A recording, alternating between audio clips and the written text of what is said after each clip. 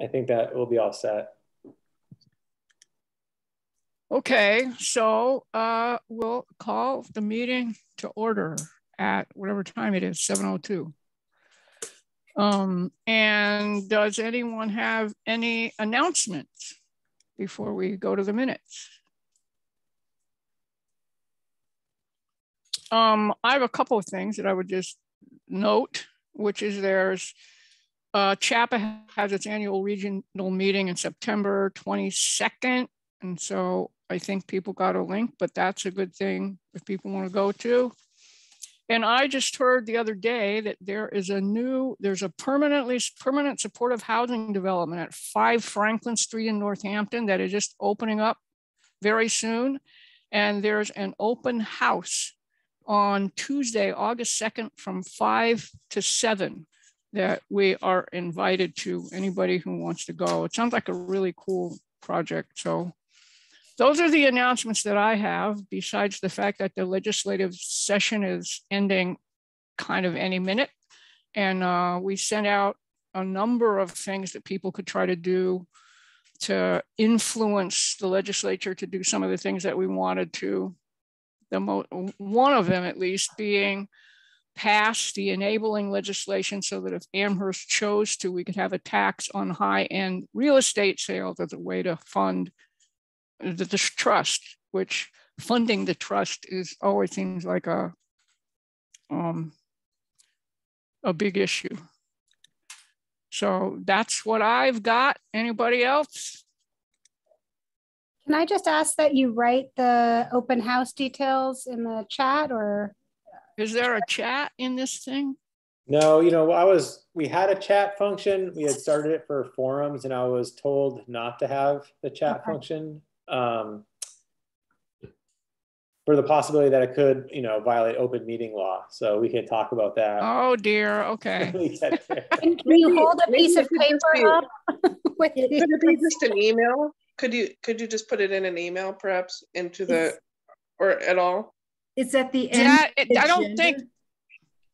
I don't think an invitation to do something violates open meeting law.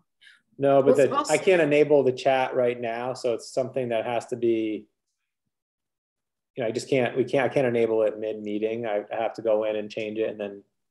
Um, I don't have. I'm not prepared to because I don't. I have it. I don't have it electronically in front of me anyway, so it would be hard for me to do it right now.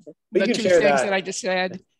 But you can share um, that um, by email, Carol. So you know whatever. Yeah, I'll I'll do that. I will. Mm -hmm after the meeting, I will e I will email it and yeah, okay. Thank you. Thank you. So you know, I have an announcement. It's not nothing um, that's you know too imminent, but I know that um, some town council members, maybe the community resource committee, it's a subcommittee of the council, is discussing changing zoning for you know two families and um, different residential uses in town, and so you know, as part of the discussion tonight, we're looking at trust action. So we can talk about it a little bit more, but it is, you know, there is interest and any, anyhow, the announcement would be that there's interest on the council, you know, and the planning board to see, you know, what kind of zoning regulations or changes could be made to help with, um, you know, to help with housing development. So, uh, you know, it, I think as the trust, we, you know, the trust can be an advocate or recommend certain changes. So it's something that I can try to bring back to you as an agenda item, or you know, if a member or two wants to look into it more together, we can. So, anyways, that's just you know, I don't, I don't want to forget that. Yes, please. I, I, I at least would like to know whenever somebody knows that there are changes being thought about, so that we can join in the thinking about them. Mm -hmm. So, yeah. Allegra. Yes question to kind of that extent. I feel like this, I think it's the Community Resources Committee is um, doing the rental bylaw retooling or rethinking. And I don't know how much, if any, idea building this body should have in that process or if, if that's reasonable for us to have some stake or interest in. But I just, I noticed that there was a bunch of meetings coming up with various stakeholders, and I did not see us as one of them, and I was not sure if we should be or not. But It's a good question. I don't, I don't, Nate, do you have an opinion and answer anything? Yeah, I mean, I know some councils were interested in it, you know, because other communities and different states have, um, you know, kind of a different rental, rental registration with student housing. And so, uh, in the building commissioner and inspectors had always thought that what was on the books could be modified, you know, at some future time. So it's kind of, it is that now that future date rental registration has been in place for a few years. So I don't, you know, I don't necessarily have an opinion either way. I guess, you know, the trust could have it at, you know, in the next month or two as an agenda topic and it could, we could invite someone to come and, you know, describe it. Um, you know, I think what they're looking at doing is making it a little more thorough in terms of uh, checklists and providing information and then maybe having more enforcement mechanisms or options for resolutions with property owners. You know, I, I to, to, be honest, I don't know the details, but it sounds like that's where they want to go with it, right? To make it a little bit more um, thorough. And so, you know, right now it's really just a self-reporting, um, you know, process. And I'm, I'm not sure how that will change if they're looking at doing it some other way. But, you know, it's like 1,200 property owners, whatever, every year complete the forms and submit the information to the town. And so, it's working and maybe there's ways to make it a little stronger, but I'm not, I'm not exactly sure where they're going with it. And I'm not people, sure the trust, you know, what the trust opinion would be. So it's something we could talk about. Is that something people are interested in talking about? We can just do a sort of a straw poll thing, I think, about this, but is that something people are interested in? Or if it's bigger than a straw poll, somebody please speak, say something. Yeah, I mean, I I don't feel like I really understand like zoning. I mean, I it would be great to hear from someone that even just basically explains it. I mean, I would like to be more informed for sure. Similarly, would like to have some background information on what it exists now, just so we're coming in informed, because uh, I am not either. Well, yeah, okay. So if we ask someone to come, we would ask them to get us up to speed and give us a bit of an understanding of what's being proposed. Presumably then the materials that would come with that meeting would be something about what is being proposed so we could look at it also and not have to just rely on what we heard in the moment. Right. so I, I think what I'm hearing is that that can be kind of on a on a stack of things that we like to do at some future time. Right. All right. Uh, let's see, can we move on then to the first thing, which is just to review the minutes from the June meeting. I believe they went out with the stuff that Nate sent. So um, does anybody have any comments, questions, concerns? Do they look okay? I think that what we've done in the past is just uh, if there aren't any concerns, you don't really, we just sort of accept them. We accept these minutes. And I don't know, I don't think we have to do that with a formal vote, but I'm assuming if I don't hear anybody, anything that says no, that that's a yes. That's probably the wrong way to do it, but I'm trying that for the moment. that's something I wanted to say to start with please, if anybody has any suggestions or, or if it feels like we're doing something that it's difficult or isn't working right, please let us know. Erica and I are trying to figure this out as we go along. So we're very open to uh, whatever you have to say about what we're doing. So no, I mean, I think thanks. the minutes were, you know, usually when we have volunteers, I'll say, you know, keep the minutes to a few pages.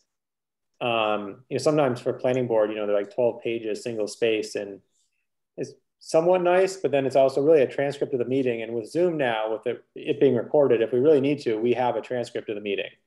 Um, it's not, you know, it's maybe like 90% accurate or 80%, you know, it's not as good as the minutes, but, you know, if someone really wants to know exactly what was said at some time, there's a video recording that's online and there's a transcript associated with it. So I, I feel like they're, you know, um, you know, minutes really need to have who's present, who's absent, uh, materials that were submitted, reviewed and then a summary of the discussion points. So, you know, pick up. Yeah, and a, yeah. and a record of any decisions that were made. Yeah. yeah. Okay. Well, then I we accept the minutes and we can move on to Nate, who is going to tell us about our financial situation. Yeah, the trust is looking great. I'll share my screen. The um, the uh, so you know the, most of the trust funding comes from CPA, you know, Community Preservation Act funds, and so even though the trust can uh, bankroll those that money, and it's one of the, it's only the it's one of the few organizations that can. So usually when you when um, CPA funds are allocated, it has to be to a specific project. But in the state legislation and the state law, it actually says housing trust can just accumulate CPA money for development funds or for however it can be used but it still has to follow CPA guidelines. So CPA has guidelines in terms of income eligibility and percent of affordability and other things. So the first line is unrestricted account, uh, so non-CPA funds. So the trust does have some money that's not from CPA. So that can be gifts or donations. Um, interfaith housing uh, did give the trust, um, I think it was 20,000 a few years ago. And then there were some previous funds in a housing uh, account, gift account for the town. So um, what the columns show are, you know, anything that's in contract uh, and then what's available. So in this unrestricted account, we have 30, almost 36,000. And so what we pay out of that is, um, you know, right now we pay like $200 a month for uh, the maintenance of Belchertown Road and East Street School properties. You know, there's a small maintenance fee. And honestly, that's about it. Um, so there's not a lot of expenses on that account. Uh, CPA restricted, those are earnings. So the housing trust is, uh, you know, a trust fund actually, and the town manages it, and the the funding of the trust gets invested through, um, you know, a different way than say general funds of the town. So the town might have a half dozen or more trust funds, and so it actually earns interest. So that interest right there is over the last 10 years, there's been $63,000 in interest in earnings on the trust funds. Um, so there's that amount of money. Um, technical services, this is uh, the contract. Uh, I don't know if this is actually, um, this is, no, I was gonna say this might be Rita's contract, but it's not. So the, the trust at one point had allocated or received $20,000 for technical services. So um, this is like if we hire a wetland scientist to assess a property or a surveyor to do a survey or you know, even an attorney to do some deed research or something. So there's $3,000 under contract there, and that's to um, study the Strong Street properties for housing. There's, so there's 3,000, almost 3,100 in contracts, and then there's 17,000 available. Why uh, do the numbers, I'm, I'm seeing different numbers. Technical well, service has 3,000 and the available balance is 60. So I'm, I'm just rounding it to 3,100. So okay, okay, about, okay, got it. About 3,100. All right. Thank you. I can make it bigger if that helps. Um, Thank you. that does yeah, it's help. hard to hard to yeah hard to say what's visible. Um, and then consulting services, we have um, another line for consulting services. So you know, for instance, Rita is under contract, uh, and there's eight eight thousand nine hundred left uh, or so in her contract, and then there's eighteen thousand dollars left to hire a, another consultant. And so I mean, this is pretty similar to technical services. Um, you know, consulting services, it could be that we hire someone again that stays, um, you know, we hire someone for a year and they're available as needed, or like a technical service, we could hire someone for a specific task. Um, so that money is available for that. And then development funds are typically every year the trust asks for, um, you know, two, three hundred thousand four hundred thousand maybe half a million uh, John's in the audience, he'll laugh. He, we usually push for half a million from CPA, and they award us two or three hundred thousand. And so we have two hundred sixteen thousand available, and we have one hundred seventy-seven thousand um, in contracts. And so a hundred thousand of that is the money that we awarded to Valley CDC.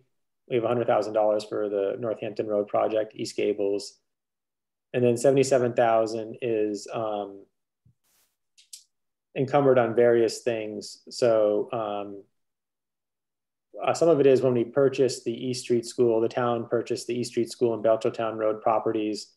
The trust said we'd put in a certain amount of money, and some of that money is still encumbered for that purpose in case we need to do other due diligence on the property. Um, and then some of the money is still encumbered, I think, for some rental assistance. Um, so, you know, some of it might be able to be liquidated, but for now, it's we're, we're going to keep it. We we have it encumbered. So, you know, all told, the trust has about 190,000 in contracts and 350,000 that's available. That that really is just, um, you know, could be put in put under contract without any without really any restrictions. So the whole the, those the numbers are additive, not it's not like of the 216, 177 is restricted, is encumbered. It's that there is the 177 that's encumbered, plus in addition, there's the 216. Correct. Yep. Okay. Yeah, they're, they're separate. They're separate amounts. Yeah. Cool. Okay. So this is, you know, I, I generated this, and it's easier than at one point I shared probably like a year ago a, a general ledger report, and Carol and I went through it, and it it has a lot more columns and different numbers, but I think this is probably the simplest distillation of this the the. the this is so much better than that, Nate. You tried to walk me through the other thing one time, and this is much more understandable. so you So know thank the- you very much. Yeah, so the accounts here, I mean, the town rarely adds account lines. So, um, for instance, like development funds, we put more money in there if we got CPA money, and money for consulting services would just be added to that consulting services line. And so, unless there's like a whole nother kind of budget line where money could be put into, um, like for instance, say the trust was a property owner or we're taking in rental income, we might have a line item here like rental um, funds or something rental income. But for now, you know, if we get money, it will probably go into one of those account lines. It's great. That's great. And at some point, so now has everything cleared out of here that was involved in our rental assistance project? Yeah. So there, like I said, I think with? there's still a little, there's still a little bit encumbered in the 177 for the rental. Okay. Um, I think we can probably liquidate that. And I think I'm not sure if the trust funds that were approved just this past spring from CPA are added in the development funds. Because you know what what happens is the the town uh, CPA funds are approved and they stay within the CPA accounts, and then at some point accounting moves them over into trust funds. And I'm not sure if that's happened yet uh, or if it's included in this balance. Um, so, but Okay. Well, that's that's very helpful, and I hope we uh, Erica and I asked Nate if he could do this for us, kind of quarterly. Let us know where we are, and hopefully also show us like if something's different next time, what happened, what went out, what came in, and certainly next time the 177 will lose the hundred thousand dollars that I know that um, Valley has just asked for for the for the Northampton Road project. Anyways. That's great. Thank you so much, Nate. Does anybody Yeah. have any questions or anything at this point? Well, you did ask the question about the emergency rental. Um, so I don't think Ashley or Risha were here when we uh, voted on providing emergency rental assistance um, to help uh, individuals and families around COVID um, to mitigate, you know, the, the negative impact of COVID possibly on job loss or being able to pay the rent. Um, I'm wondering about FEMA. Uh, did we ever get any funds back in terms of what we put out and getting monies back from that? Yeah, so we, we did. I don't I don't have an exact accounting of that. So um, you know, we had allocated, I think it ended up being like 250,000 for emergency rental assistance. And I think the trust may have actually only spent about 70,000. And so um, you know, COVID funding supported a lot of that um, because it was eligible. So, you know, if we had spent our full, you know, all that money you know, our available balance right now might be, you know, 200,000 or 250 as opposed to three, 350,000. So yeah, it was a benefit. So what we ended up doing was, um, you know, paying it and then requesting almost like simultaneous reimbursement. So the, you know, it was, the money was never, it's not like we were, the trust was ever down a lot. It was like we would pay it and then request reimbursement pretty, pretty frequently after, and the money would just come back into the trust. So, but we did um, get reimbursed on that. Thank you. And we don't pay for the administrative costs that um, you, for you to do all this work with. So thank you for that. And So, Alicia, you have your yeah, we're- Sure, thank you. Um, so just wondering, A, what are the, the goals of, like on the CPA funding, do they have requirements that we spend it within a certain amount of time or is it sort of however long it takes us? Uh, and then also, yeah, how does this compare to any other point in time? Is it? Yeah, I mean, I think the trust has been solely capitalizing and, you know, accruing funds. So this is, you know, probably, you know, every year the trust is awarded CPA funds and, there, you know, makes you know interest earnings. So this is probably the most money it's had. Um, so like I said, the CPA committee really does like to see project specific allocations, but the housing trust doesn't need that. So you know, in the development funds line, for instance, if, if we asked for a half a million this year and they gave it to us, it would just add to the running balance of the trust. Um, you know, uh, because there's also requests specific to a project, right? So in the last year, Valley CDC asked for funding for their project, and you know, um, different, you know, the Housing Authority asked for money and Amherst Community Connections or other organizations asked for money. So the CPA still, you know, um, recommends and then town council votes on funding for a specific project. So the trust could do that too. You know, the trust could say, well, we want $200,000 for Belchertown Road, and we also want $200,000 just for general development funds. Um, you know, and so part of the you know, if we discuss later in the action plan, I mean, trusts are always looking across the state ways to to fund itself, right? So we have some other mechanisms, but usually CPA money is um, the biggest uh, piece. And so, you know, I think our CPA committee has been generous, but you know, some committees or some towns, the CPA can allocate a certain percent every year to housing, and sometimes they just say that whole percent goes right to the trust, right? They don't also give it to other projects, and so um, that's different in Amherst. Any other questions? And I'm gonna pass it over to Erica, who's gonna talk about open meeting. Thank you. Um, and there were lots of leads, lead-ins um, in our conversation already, such as um, the need for minutes uh, and transparency. So thank you. Um, I think it's sometimes difficult to transition from, you know, being part of a coalition or other types of meetings and being a public body. And so I think this is really a good opportunity for all of us to uh, one, think about this uh, as a public body and think about what our responsibilities are. And so thank you, Nate, for one, sending out the slides and also um, the regulations, uh, which I've both taken a look at. But with 52 slides, we decided we're just going to do highlights. And I think what's more important is to open it up to ask um, for everyone to ask questions so we can ensure that we're uh, in compliance with the open meeting law. Um, so um, you can find the open meeting law guide and educational materials along with what Nate submitted to us on the Attorney General's office uh, website. And the Attorney General Office is um, the office that ensures compliance and also monitors compliance. Um, and um, the reason for the open meeting law is really to ensure that there's transparency in any deliberation uh, which public policy is based on. And that's on page four of the open meeting law, as well as in the slide set. I think the slide set actually provides a really great overview um, of the, um, the most important aspects of the open meeting law. Um, but I think that what's really important is that um, we think about you know, how we support transparency, uh, uh, in terms of the public and, and, what it is that we're doing.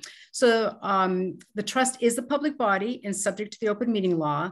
So one of the first things that have to happen is, is that we have to have a notice um, of the meeting um, and it must be posted 48 hours in advance uh, unless there's an emergency. But generally it, it, gives an opportunity for the public who would like to attend uh, to be able to attend. Um, the fact that we do a recording and that we also have minutes is also opportunities to record what happens uh, and for the public to also uh, review what has happened if they can't make the, the meeting but would like to make the meeting. Um, each of us has received the open meeting law materials as part of our orientation. We actually have to be certified. We have to have a certification that we have gotten the information and that we have read it and, and we understand it and we will comply with it. Uh, and that again, that's the responsibility of being a member of a public um, a body. Um, deliberation, which I think is probably sometimes the most confusing for me at least. Um, what is deliberation? And that's any oral or written communication through any medium, including electronic mail, between or among a quorum. So Ashley, you asked what the quorum was. Um, and Nate, you said we're a body of nine. And so a quorum would be five. Um, but I think also it's really important. Um, so I'll read that again. Deliberation is an oral or written communication through any medium, including electronic mail, between or among a quorum of public body, simple majority, on any public business within its jurisdiction. And that's again, page six of the open meeting law. Um, but the slides are really good in um, showing what is a public body and um, also defines one deliberation and two um, what the public body is, as well as different aspects of deliberation. Uh, one of the things that is clearly, um, you know, sort of noted is that um, the expression of an opinion on matters within the body's jurisdiction to a quorum of public body is deliberation, even if no other public body member responds. And I think that's important because sometimes I, I, was sort of under the misconception of that we have to have a dialogue back and forth. And sometimes what happens is, is um, we may, you know, have a, um, you know, an email that goes out. And um, I know I've done this, you know, John sends a wonderful email out and I'm like, oh, this is great. This is my opinion. Um, and it's like, okay, that violates the open meeting law. Um, we're not supposed to deliberate on email because the public is not on the email and they cannot hear um, the deliberations. So um, if somebody sends something out, um, if we want it as a topic on the agenda, um, great topic. I have lots of questions. Can we have it on the agenda? Um, we could put it on the, Carol and I could put it on the agenda for a meeting and then we can, we can have a discussion here. We can deliberate here, share ideas, um, share our comments. So I think that's, that's really important because it helped me to think. I, I've always thought just, well, you know, if something goes out and, you know, I just share my opinion with, you know, at least, you know, a couple of people that that's fine it's not um, so we have to really think about it. So you know part of with regard to the um, open meeting law um, is what does it really mean for us um, we can send each other information announcement alerts resources or agenda items but we cannot include any opinion or discussion discussion regarding them um, we can state please um, have this be part of our agenda but um, no deliberation, no comments, no opinions, because that would then violate the open meeting law. And so, how I keep on thinking about it is does the public have the ability to see, hear, read what it is that I, as a trust member, is putting out? Um, and if they don't, then it, uh, if we if we are sending it to each other, it could violate the open meeting law. And of course, there are exceptions. And again, the slides are really great um, in uh, presenting what the exceptions are. You know, one of the exceptions in exec is an executive session. Um, generally, my experience here has been on the trust that we post that as well as the agenda. We may have an open meeting, and then um, due to the fact that we might be talking about buying a property um, or thinking about uh, acquiring a property, which could then um, you know give somebody advantages, um, we can go into an executive session. And under the open meeting law, that is we have the ability to do that. Um, so we'd go into an executive session and we would be allowed to just uh, be part um, of a closed meeting without the public. But minutes have to be detailed with regards to um, who participated, what was discussed, or what decisions were made um, with regard to the, um, the executive session, uh, again, to comply with the open meeting law. Um, and so what that also underscores is that is we always need a minute taker. So thank you, George, for today being um, the minute taker and, and you know volunteering to be our minute minute taker, but there'll be times that George may not be available. Uh, for example, he's not going to be available in the August meeting, so we will need a volunteer. So minutes are really, really important to be in compliance with the open meeting law, um, just to make sure that everybody, as Nate says, we yes, we have the recording, yes, we have a transcript, but I think it's also important to have documentation, especially for possible new members who may not have been at prior meetings and want to see an account of what took place or how the decision was made or what was being focused on, it's always important to have documentation. So um, we will always ask for a volunteer beforehand um, if someone is not available, if George is not available to take minutes. Um, so I want to open up for any questions that you may have. I know all of you have received the slides and the um, open meeting law guide and educational materials, but um, I think it's often helpful. Um, I was new to the trust a few years ago, and I constantly had to go back and forth and either ask somebody or look at you know the materials just to make sure um, I understood what my responsibility was. So let me just open it up if there are any questions. Yeah, sorry. I just, I just sorry. I just want to say quickly that the conversation um, over emails and everything get a little tricky. So the um, a serial conversation where, for instance, one member emails one member, and then that other they email a second member or a third member, and then you know before you know it goes through four or five members, but those five members haven't talked directly, but it's been you know one to one to one. That is still considered a conversation or could be a violation of open meeting law, and so you know I don't think it happens intentionally. I think most of the time it's unintentional, um, and so you know I just want everyone to be aware that you know even something like that is an issue, and so you know if there's a and and if there's a meeting that's not a trust meeting. Say there's a um, a select board meet or a, a, town council meeting. If there was a select board meeting in another town, we think a, a quorum of the trust is going to go there and talk about something that the trust would then maybe talk about or have jurisdiction over. We could post it as a trust meeting, even though it's really not, you know, like a regularly scheduled meeting. So if the community resource committee is having a discussion on housing and the trust is like, oh, I'd like to go, we could just post it as a trust meeting as well. So that way, if trust members speak at it, you know, we're not in violation of, of open meeting law. And so, um, you know, I, that's one way. And the other way is just to be careful of email. So I think it's fine. For instance, if someone emails an article and says, I think this is a good article, you know, and if every, if people have comments or questions about it, you can always send it to, to me or to the co-chairs, then we can send the questions back out to the whole trust and we will just say, don't respond to all. And let's just, you know, here are questions that are being asked. This will be on the next uh, agenda. But it's okay if you see an article about housing or something that's really good, or if you have, um, you know, you see an event or something, you know, th that's fine to email to the group. Um, yeah, so uh, kind of rule of thumb that we've thought of is unless you have some really good reason why not, just email anything to some combination or of Nate and Erica and I, and we'll do something to get it to be looked at in a way that is appropriate, which probably means on an upcoming agenda. Yeah, I think, um, again, the slides are really good. So things like an agenda or scheduling, reports or documents, those are not considered deliberation. Um, even, you know, a meeting of subquorum, as long as it's not a subcommittee, one of our subcommittees.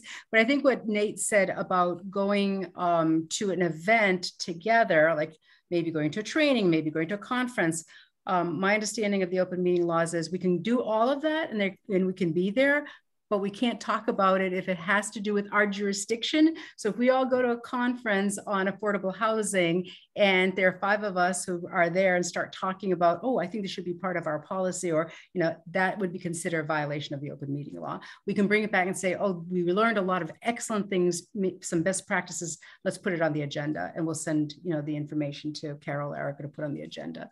Um, so, yeah. Any other questions? Anything that's well, not clear? I'm just curious, do we have any at the moment subcommittees or that was, I saw that on the agenda. Is that a possibility of forming some to kind of research some things? I personally have some time on my hands, so I'm curious about some things. I mean, I don't know much about zoning. I can, you know, look into that, but also kind of having like a more or less an in-house developer versus all those different you know developers. We use a lot of developers. Why can't amherst employ one?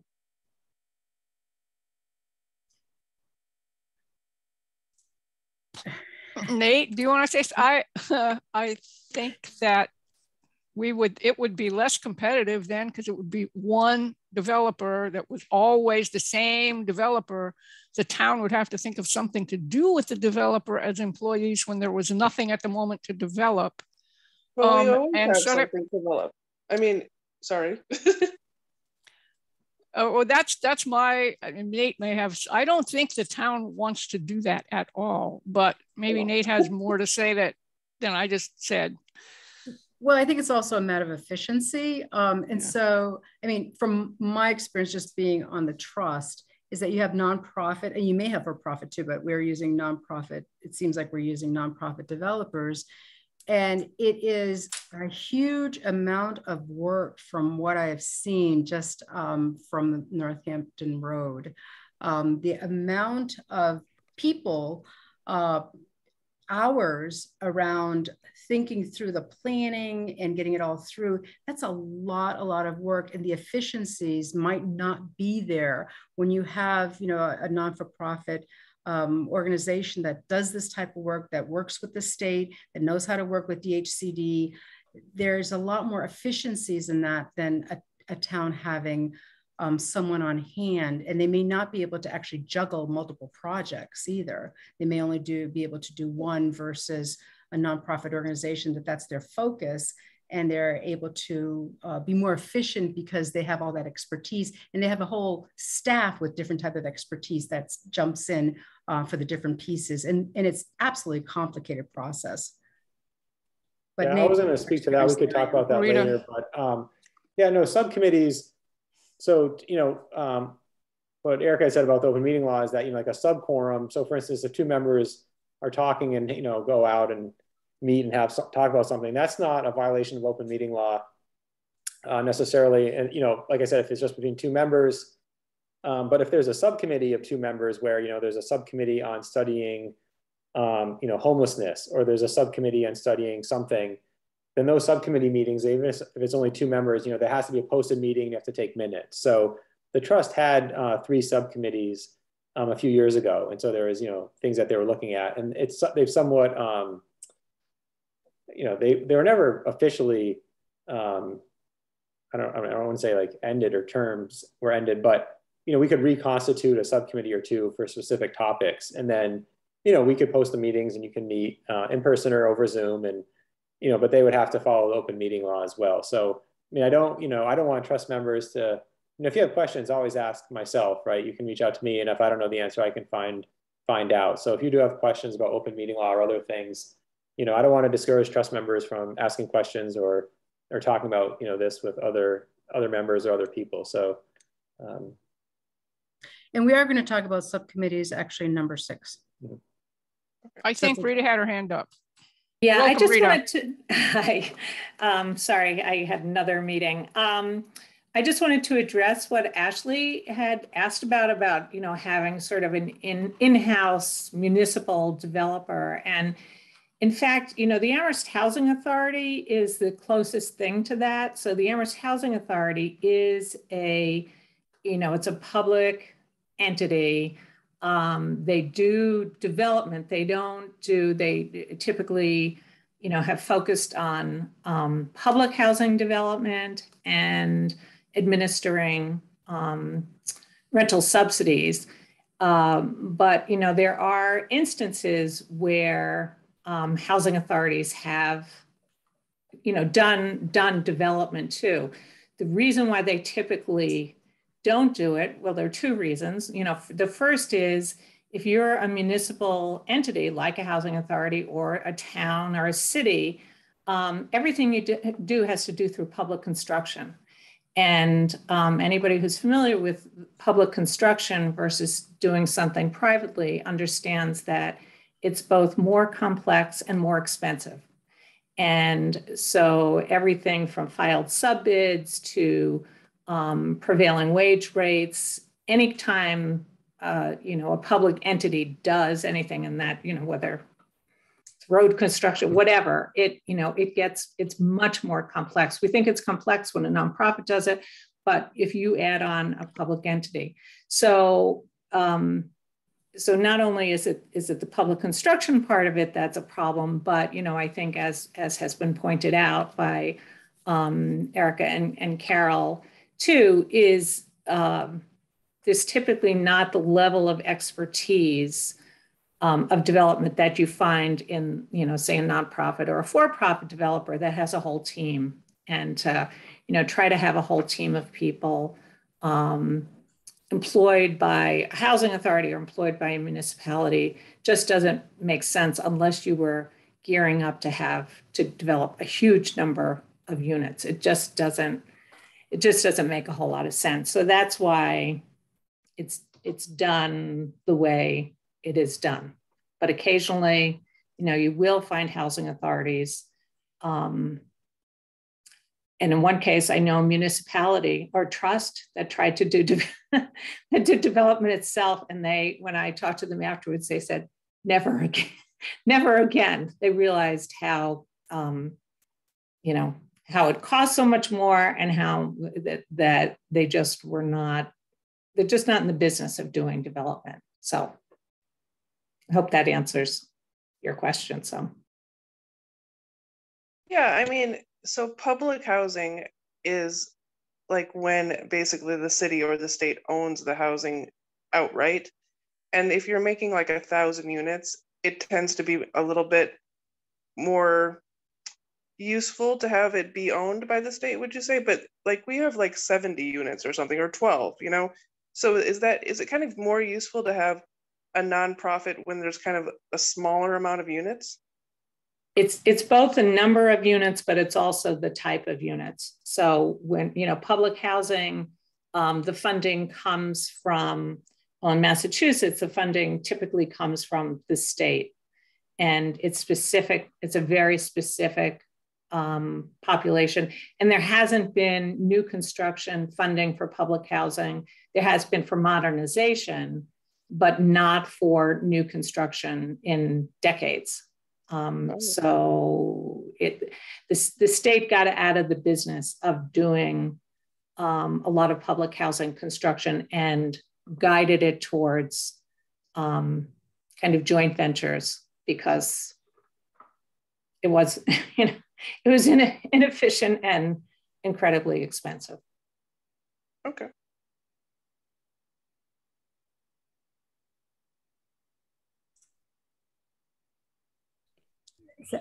So me, um, I had a question about sort of how this plays out on social media, and I know we had a conversation about that, but the the question I have is personal social media. I am not currently, I don't think, connected to other trust members, but for instance, if I you know shared a housing report or housing article and another member commented on it and a third member, you know, a, like, do we risk in, I feel like some of these uh, laws might not be in speed with that kind of where it's public in theory, but we haven't invited anyone to witness a conversation. So do we need to be careful about seeing each other's or commenting on each other's social media stuff? I believe. I would say, Yep, go ahead, Nate. yeah, I would say to be safe, yes. Um, you know, the the caveat, right, or the condition is that it's under trust jurisdiction, and so, you know, um, someone could make the case that well, the trust deals with housing, so anything under housing is trust jurisdiction. Sometimes it's really, you know, it's more narrow. For instance, like if the zoning board of appeals deals with certain cases, it's like, you know, case specific or something. But um, so, you know, I, I do think that in some instances it's fine, and some it may not be. And so that's a hard call to make and just say no or yes. The, you know, and I said there's a, you know, serial conversations could be a violation. You know, in your example, it's like, well, what if a conversation starts and one trust member, you have like, you know, a few comments back and forth, and then a third member, and then really it's something that the trust might um, might end up uh, recommending. Say there's an article about zoning reform, and someone's like, "Oh, this is really interesting. I really like this idea," and then you know, a week later, someone else puts a comment in, and then it, you know, all of a sudden that is a conversation that you know could violate the open meeting law because the trust really can recommend zoning um, zoning changes. So you know, but if there's something different, I mean, it's just I feel like it's a case by case, but um, you know, maybe to be careful, I would say just you know, not to try to you know, I think having one comment or one you know some something's fine, but once you know once the there's a back and forth conversation that becomes the could become the you know something that's violating open meeting law. Sorry we couldn't be more helpful in terms of an exact answer well i think you know uh, nate where you're saying if you're in doubt um, you may want to just say comment wise let's bring this to the trust agenda to the trust meeting and and have a conversation about it great article yeah. let's bring it to the trust meeting there is, um, you know, the state will put out guidance documents, and there's like a hotline of the day for ethics commission. Um, I think it might also deal with open meeting law and conflict of interest. So, you know, you kind of get lawyer of the day, but there's a 1 800 number you could call and you could, you know, you could pose a question. They'd only answer the person who's calling. So you couldn't call for someone else. Um, but so to your point, Risha, if you did have a question, you could call this lawyer of the day through the state and ask and just say, oh, you know, what's the, you know, is there, you know, you know, I post things on social. You could, you'd have to say it's for you, right? They don't, like I was saying, you they don't answer for someone else. Right. So I couldn't call on the trust behalf. It'd have to be something uh, relevant to just myself. But you could ask, you know, if you have an example. But um, yeah.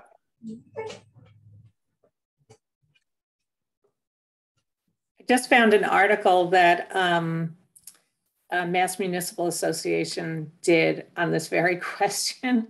So um, if you just Google it, if you do, so, so it's a long article, so I, I can't give you the answer right away, but um, it's addressed there and they, um, yeah, it goes on and on. What's the name So of the So article? what would, what would we Google to find it? Um, well, it's, it's, um, it's on MMA.org. And then the article is social media, public records, and the open meeting law. What's that So I just, uh, so it was written by, I think it's somebody from KP Law. okay, yeah, so it's in- It's an attorney, Richard Holland at KP Law, which is the Yeah. firm the town uses, right? Mhm, Yeah, I I know. Right. Thanks, Rita. Okay, I'll, I'll, um, can I, I'll send it to you, uh, Nate. I'll send you the link and then maybe you can send it out. Thank you. Yeah. And MMA is the Mass Municipal Association. Association. So can we move on? We should like to be able to uh, talk about the September Housing Forum coming up. And in order to do that, can we invite, did, ah, John left. Did John leave? No, there he is. Yay. Invite John and maybe Michelle to come into the room. John is kind of running at least a lot, a part of this for us still. It's so good to see you again, John. Hi. Michelle, I'll You're promote you to muted. panelist. If you want, you can decline, but if you'd like, you could join as a panelist too. I think I a lot faster too. Okay, yeah, so she, Michelle will just stay in as a participant. If needed, she can raise her hand. Um, Okay. So John, you got to unmute yourself. Okay, thanks.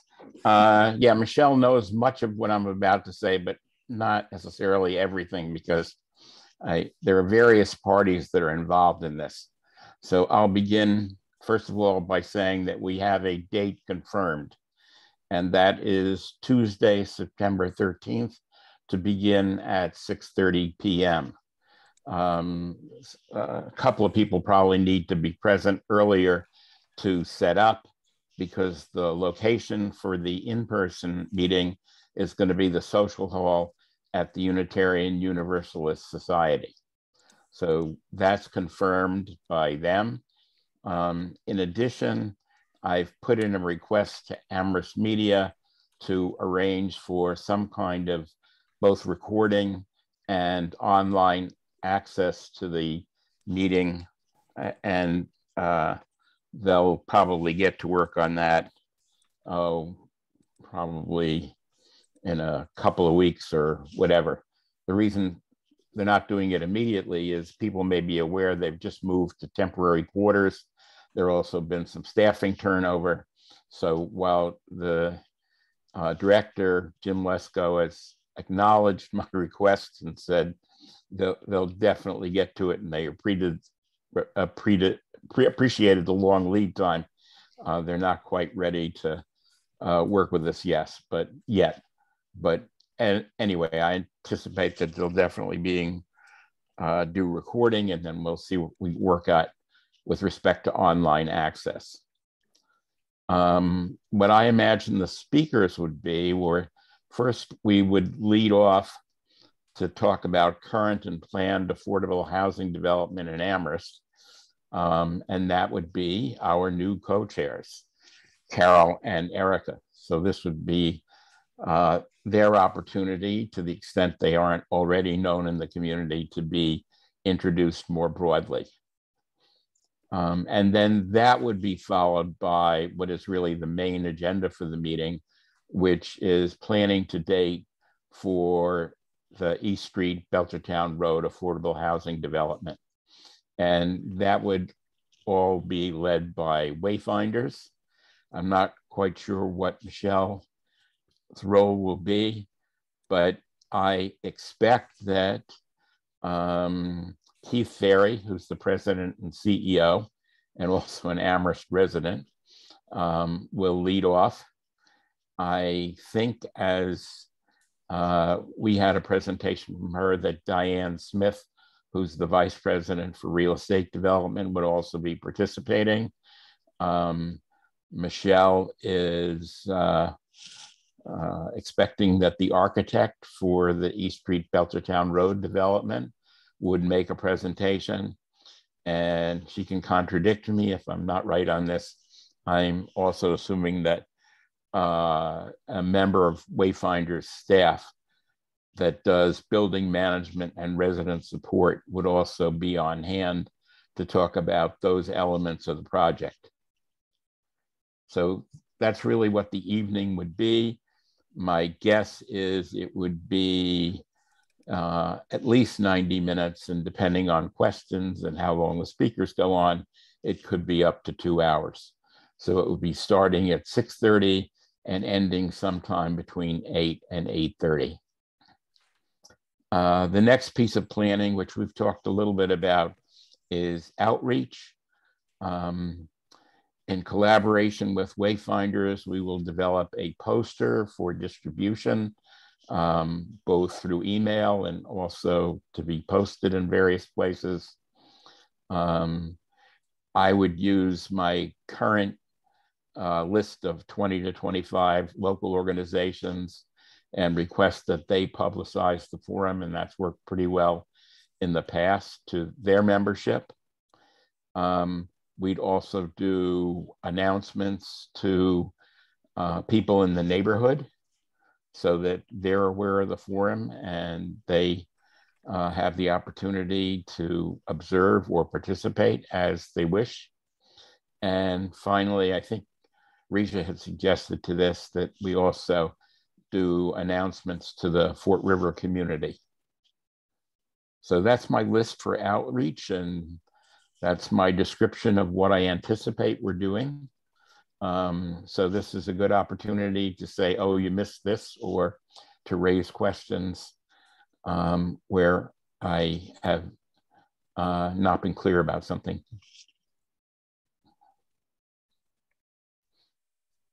So, um, thank you. Um, John, thank you. It's so wonderful to see you. Um, this is exciting, very, very exciting. Um, it sounds to me that we need some help uh, with setting up. Uh, so we may need some members to come at six o'clock and set up, and then at 8.30, if it goes till 8.30 to help clean up. I mean, I've been to forums before and everyone is actually wonderful. Everybody just, you know, takes chairs and, and cleans and, and gets everything ready, but it might be better for us to have a few volunteers. And it sounds to me that um, the outreach, I'm, I'm not really clear about the Fort River community outreach. Are we talking about knocking on doors? Are we talking about um, just having it in like the Amherst Bulletin? Um, what are we talking about in terms of outreach to the Fort River community because they're the ones who are the closest to the project?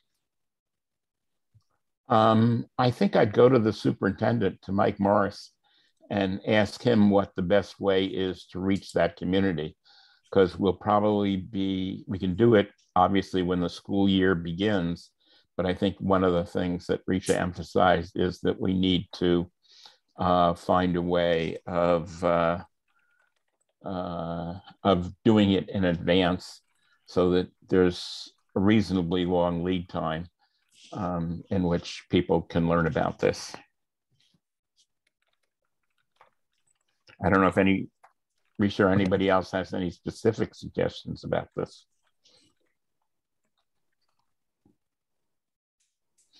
Um, so I think I mentioned last time that that date is a conflict for me, so I won't be able to attend. Um, but I would like to help sort of design the marketing if that's something that I can help with as that is the thing I do. Sure. Um, I'd be glad to have your collaboration. Um, so you and I should talk about that um, probably offline. And I can describe typically what I've done. And you can talk about what we should plan to do to augment that. Yep. And it, it might just be the posters and stuff. If I don't yeah, know. I'm, I'm just going to say, John, I, you know, I just made a note to myself to confirm, you know, as a trust meeting, what do we need to do, um, you know, if it's in person or not, or if that's allowable in August so, or September. So, um, anyways, you know, I'll get, I'll hopefully can get an answer soon. I was just thinking about that. Um, you know, the state will, you know, we'll know soon what the state says, but, um, you know, for instance, the town may still want every, everyone to be remote, or if it's in person, you know, how do we broadcast it live if that's what they want? So, um, you know, uh, you know, hybrid meetings work that way in that, you know, there's a Zoom link and it's still, people are still attending and seeing everything through Zoom. And then but you know the trust would still um, you know can interact with people in the room and over online.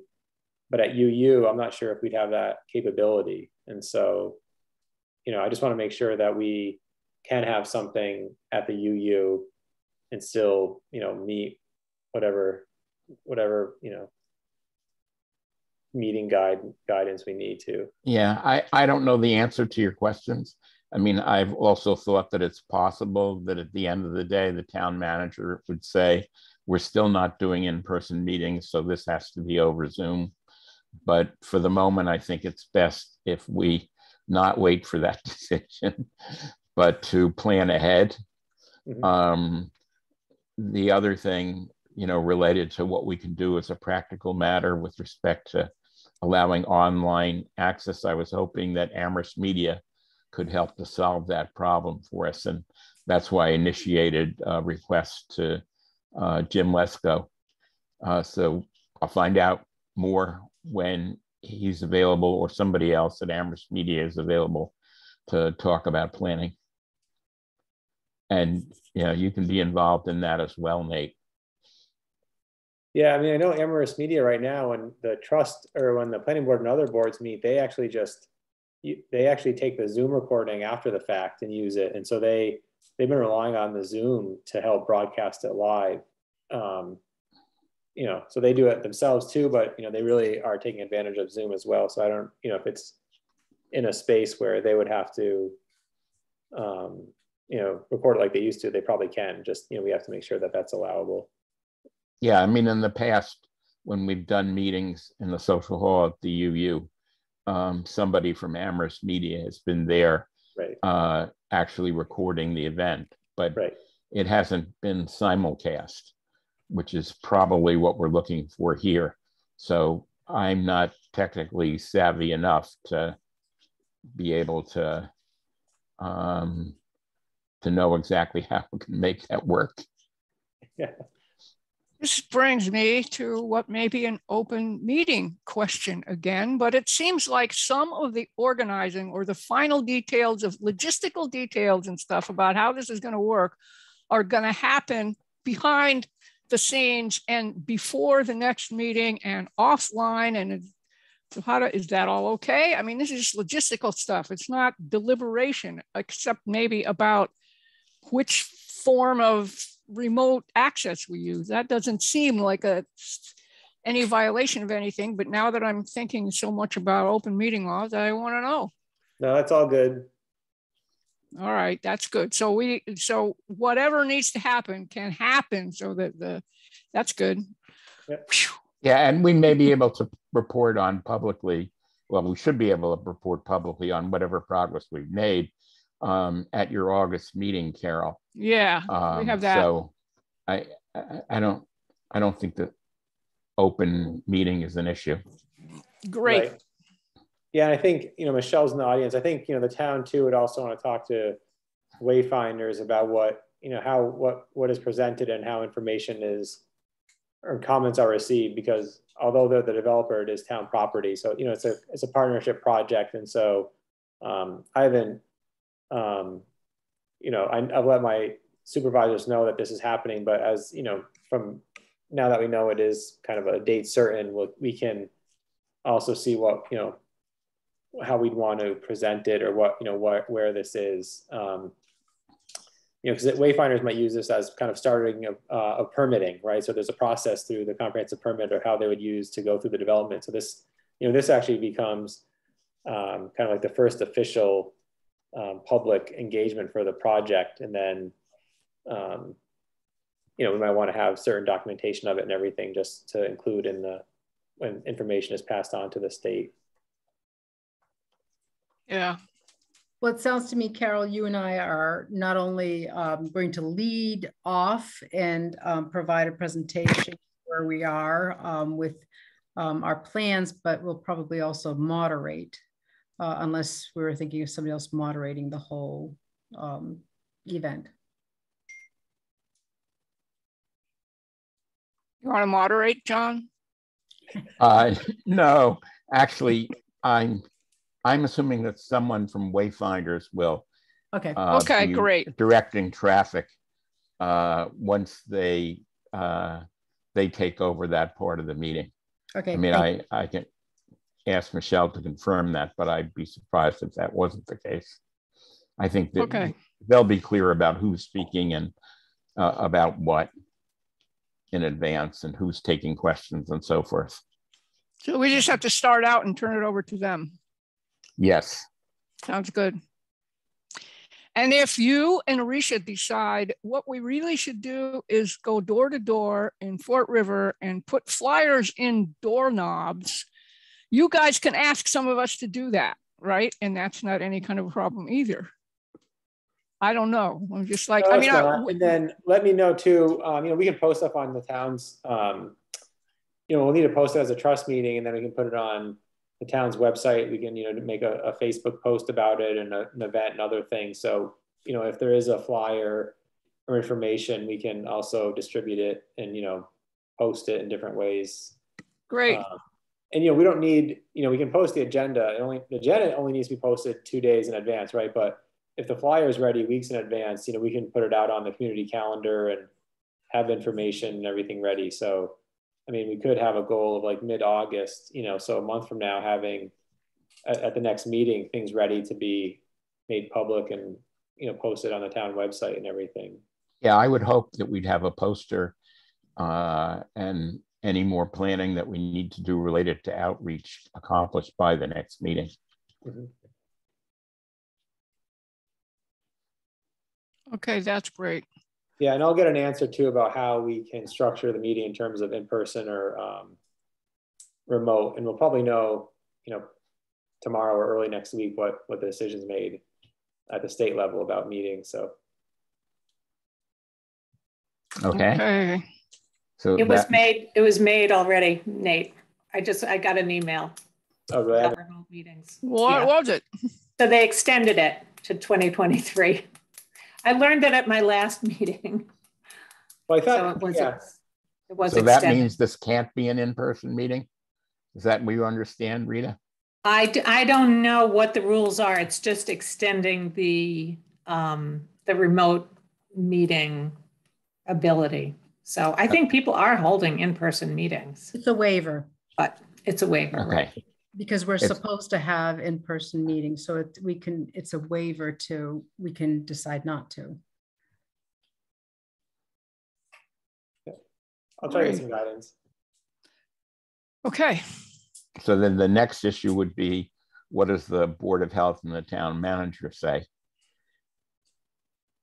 and that could change in a month or two uh, yep since we don't know exactly what the spread of COVID is going to be. Okay, well, it sounds like we're going with John's suggestion, which is plan for it to be in person with a fallback that we hope we don't have to use of maybe it won't be. and uh, that makes sense to me. Does anybody disagree or anything with that? Okay, well, then I think it's Erica who's going to go through some of this part that we call trust priorities and roles and subcommittees. Go, Erica. Thank you very much. So thank you again, Nate, for uh, sending out the strategic plan. And I hope people notice that it said from 2018 to 2022.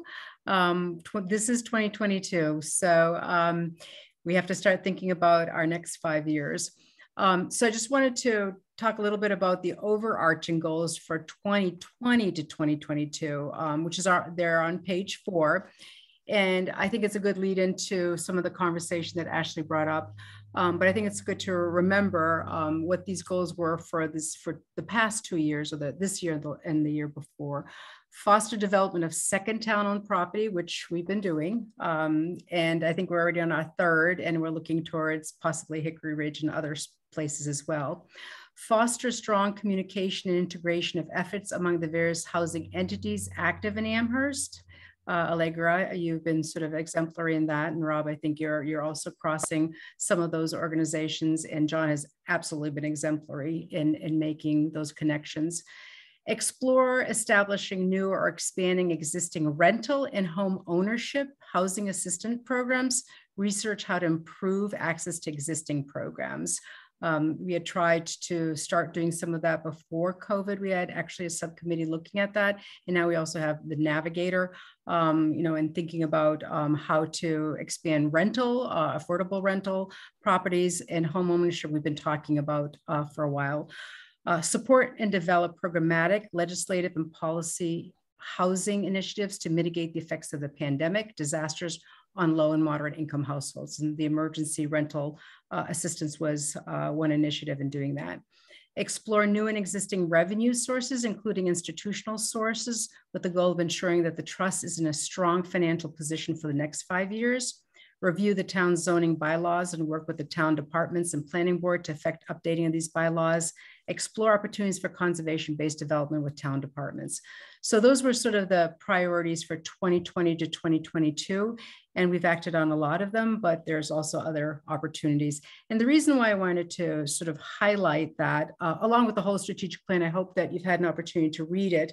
Um, there's a lot of excellent information there. And um, I got, you know, I read it when I first joined the trust to also get some of the history and understand the, the structure of how the trust works with the CPA uh, and how we get our funding and um, what our purpose is uh, and what our plans are and what our, our aspirations are. Um, and that's really important in terms of a, a housing trust um, member. Um, but it also gives us a sort of a blueprint of opportunities to get involved if uh, you're not co-chairing um, uh, or even as co-chairs um, to get involved um, to support some of the goals that we have in the housing trust for the housing trust. So, um, you know, as you know, Ashley mentioned, you know, there, there are there are many ways of supporting um, some of these goals, such as being the liaison. Um, Will, when he first, when he was with us, he was our liaison to information around state legislation, uh, legislation uh, or finding out what CHAPA was doing uh, because they keep their fingers on the pulse of legislation that impacts affordable housing um, and other organizations. So thinking about, you know, would you want to be um, doing that and bringing information back to us, recommendations to the trust about supporting uh, legislation. Um, for example, uh, the legislation that uh, Carol mentioned, um, the, there's actually a House Bill 1377 and Senate 868, which talks about the transfer fee of sales um, and those fees going to the possibility of uh, those fees going to affordable housing um, in, in supporting affordable housing trusts. Um, so that's really, really important to think about all the legislation that's out there that we may not know about because not all of us have the time. But if one person or a couple people wanted to keep track of that and be our sort of person to bring back anything that is applicable to what our goals are and things that we might want to support, write a letter of support, or find out more information about, um, you could actually take that role on and to ensure that we're always attuned to what's happening and that we maximize our efforts with other organizations to ensure that if there are opportunities to support affordable housing, um, that, that we're actually doing that. Um, there was also um, a suggestion to increase our presence through social media. And that really requires someone to be interested in first finding out what are the different channels that we could think about um, posting in social media, articles or um, information on data, data uh, with regards to affordable housing initiatives, uh, the lack of affordable housing in, um, in Amherst, trends that are happening in Amherst, and the need to support affordable uh, housing, and the different ways that individuals or community organizations can support the development of affordable housing, either rental properties or home ownership. Um, so there's absolute opportunities for someone to take that on um, and think about um, really getting our uh, goals out there and um, also the work that we're doing um, as the trust or with other organizations. And then um, the last piece, if you look at page 21, and we actually talk about subcommittees. And as Nate said, that they there have been subcommittees in the past. Um, and so we can form subcommittees specifically to uh, enhance some of the goals that we have uh, and some of the priorities that we have.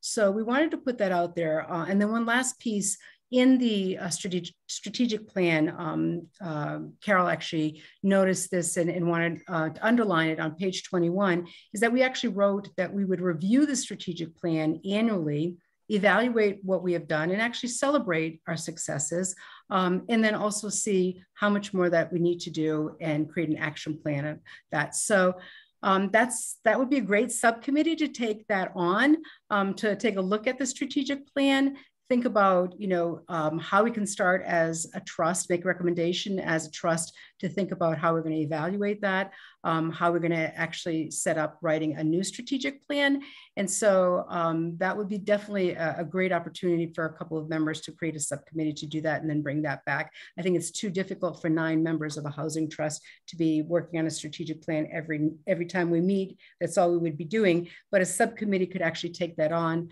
um, review it, come back with suggestions, uh, and then present it. So um, we really want you to think about how could you um, take on some of these areas. Um, if you want to start a subcommittee, bringing it to the trust and say, you know, maybe we need a subcommittee on social media, on social media presence, um, and maybe we need a subcommittee on the um, starting to develop a strategic plan. But we'd really want you to think about um, how you are going to um, connect, you know, the goals that we have and the goals that you have on being on the housing trust and thinking about, you know, stepping up to, to, to doing um, in supporting those goals. So I just want to open that up and see if there are any ideas. Well, um, I just, because I just heard this on NPR, actually, you know, there's a gonna eventually, this is not until like November, there's a ballot measure measure that will be a 4% tax on everyone that makes more than two, $2 million a year. Has anybody heard of that? And so I think that's a wonderful idea. But then that's a lot of money coming into the state, I assume.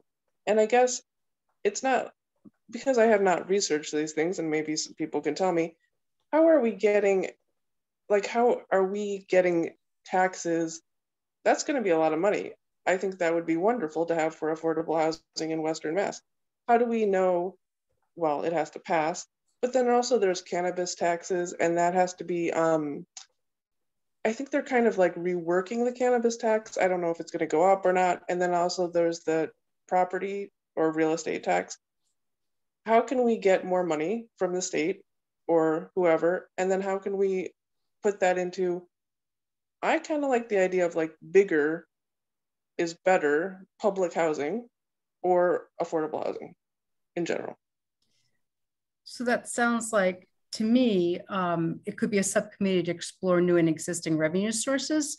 Um, you could focus a subcommittee, you know, if you or if you wanted to take that on and, and lead that yourself, um, to, to really look at, you know, what are the opportunities out there to increase, you know, revenue sources for the trust that then we could utilize for affordable housing. Yeah, I, I'm definitely interested. And then also more I guess, diverse housing, like tiny houses or mobile home parks or things that aren't just apartments. It sounds like it's very focused on apartments and every once in a while a house, but a, a whole house is very expensive, obviously. What if there was like quite a bit more diverse kind of affordable housing? We actually did have a presentation on um, someone's gonna have to help me with this. Um, we, we were looking at, uh, if there's a specific name for small houses. Um, Accessory dwelling units? That's what it was. We had a presentation on that, but the which is separate from the the, the tiny homes. Um, yes, we actually did have a presentation on that. Um, How did it I go? Think, I mean, did you like it? you... Well, yeah, the so the, the, town, yeah, the town did pass a bylaw last fall uh, to allow accessory dwelling units, you know, up to a thousand square feet.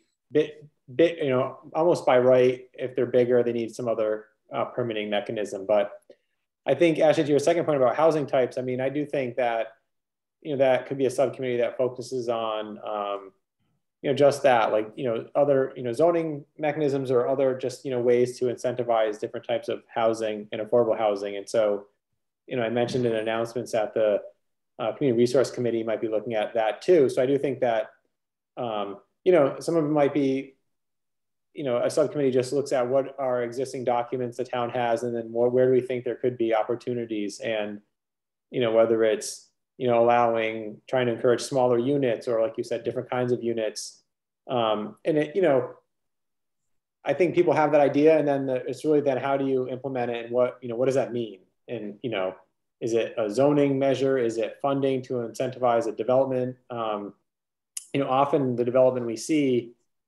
um, you know, the affordable housing we see being developed is because that's what the state programs fund, right? There's a priorities that may change every so many years, but that's kind of where the funding is. And so if the town's like, we'd love to see a tiny house development, right? Say like 300 square foot homes, like 10 of them on a property, uh, that might just end up being a locally funded project because there's really not other funding out there. There might be, but you know that for that, and it, for instance, that's something that may actually be really workable uh, in terms of housing, but it's maybe the funding isn't there. So I do think that that becomes a pretty big project or something that a subcommittee could research and, you know, come up with ideas and um, talk about them. It's also somewhat relevant because the town adopted a comprehensive housing policy last year with, you know, like 100 strategies on how to implement it. And they're kind of going through it too to determine, you know, where, where, where does the town you know, in terms of town council or staff time or others, where do the resources,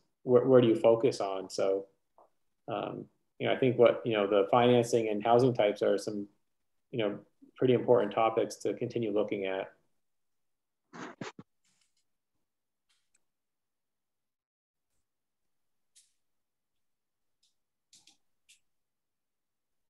Others? or anybody who wants to join any of these, uh, I think these two are, I think, really important.